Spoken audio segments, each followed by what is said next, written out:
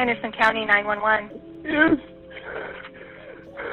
My, my wife, my, my wife just shot her kid, What is her name, sir? Sarah Henderson. Sarah Henderson? Yes, ma'am. Okay. All right, and how old are the children? Seven and five. And they're in the bedroom? Huh?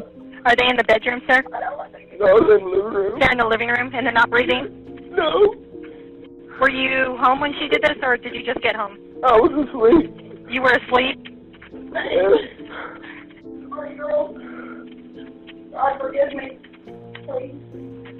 Why did I do that, babe? I don't know.